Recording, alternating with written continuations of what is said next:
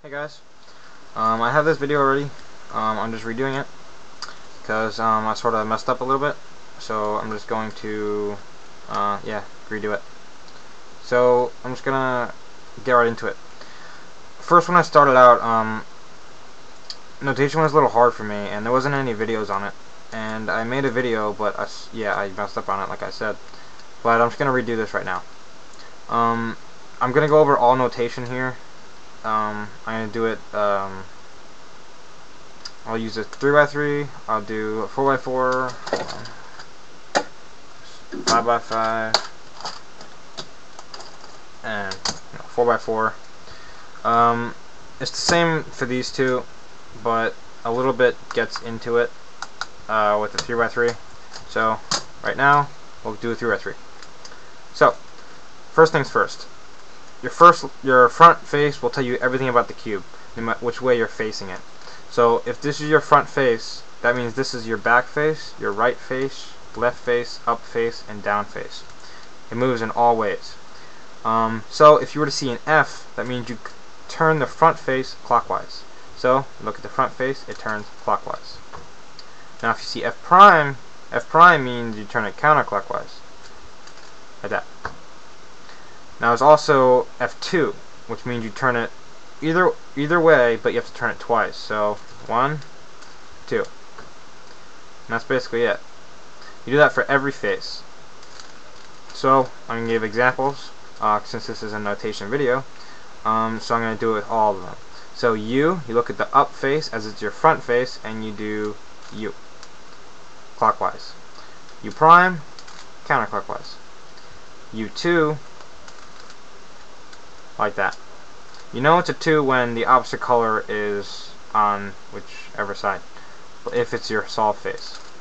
So, R would look like this, like that. R prime look like that, towards you, counterclockwise. L is towards you, like this. L prime is like that, away from you. Now, D is the opposite of, prime, uh, of U, See, U would look like this, D would look like this. So, you look at the down face and you turn it clockwise. D prime, counterclockwise. D2, like this. Now there's also back. Back from the front looks back prime. So, if I said B, you turn the backside counterclockwise like this, if you're not looking at it. So that looked like a back, a back, uh, counterclockwise from the front. So B prime would look clockwise. And B2, obviously, it doesn't matter which way. Whichever way is like faster, I guess, which, however you're holding the cube. Now there's slice moves.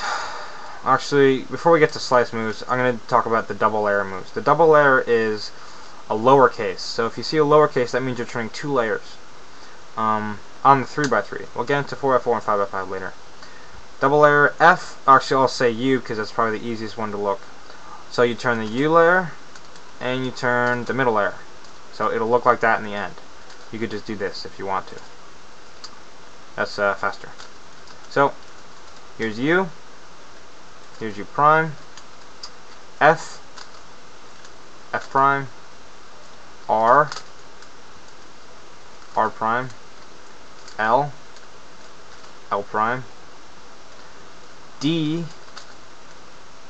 D prime, and B, and B prime. And that goes also, there's also two of those, so this would be in U2. So yeah. Now slice moves. Slice moves are the middle layers, just the middle layers, not um, both of them. So there's E, M, and S. I've never come across an E before. I've seen an S. I didn't have to learn the algorithm, but I have seen an S. So if you ever wanted to, I don't know. You'll see them, I'm sure. I mean, they're there for a reason, I guess. But I'm not sure if any algorithms actually use E. Um, because that's, uh, I know uh, one or two that, I don't, uh, it's just weird. So let's get into it. E goes the same way as D. So the middle layer, this is E uh, E prime and E2 obviously alright so there's also M M is this middle layer. M looks like this. It goes the same way as L. And uh, M prime looks like this. And M2 looks like that. Now there's also S. S uh, does the front and back face, but in the middle. So along this middle. This is S. This is S prime. And S2. So yeah, that's that. Now it's also rotation. Oh, getting a text message, I think.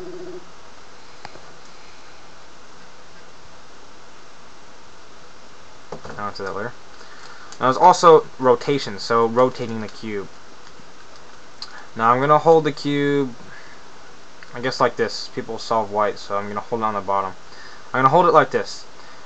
This is how I'm gonna first start the cube. Now there's X, Y, and Z. I'm going to start with Y. Y rotates the cube uh, that goes like this, the, the axis that goes from the top to the bottom. So a Y, not that hard, it goes like this. It takes a little bit getting used to. Uh, you probably do this all the time, but you just don't know the name for it. So this would be a Y. Y prime is the other way this comes naturally. When you see it in an algorithm, you'll just do it naturally.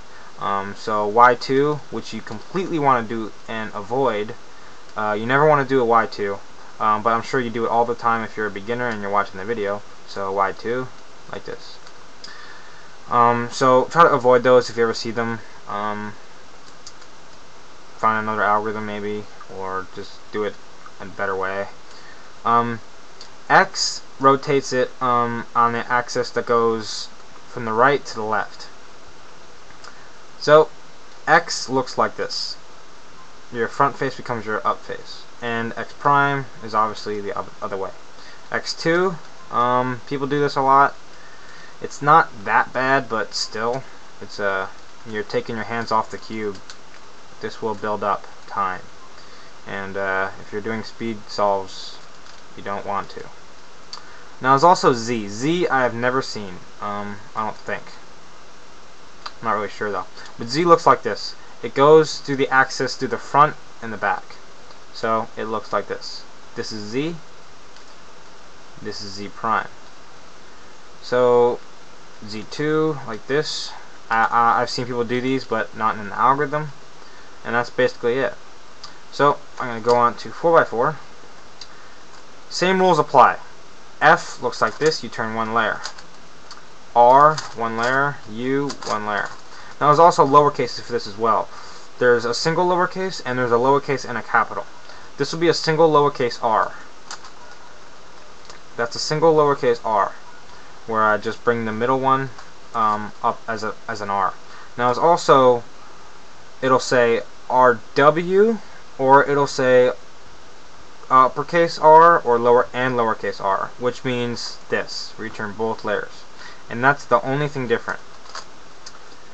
Same thing on 5x5, um, it doesn't change. A double R would look like this, or an RW, if you will. So, that's basically it. So, if you like this, um, rate it, 5 stars I guess. Um, comment if you have any questions, I am free to answer them. Um, so, uh, Good luck.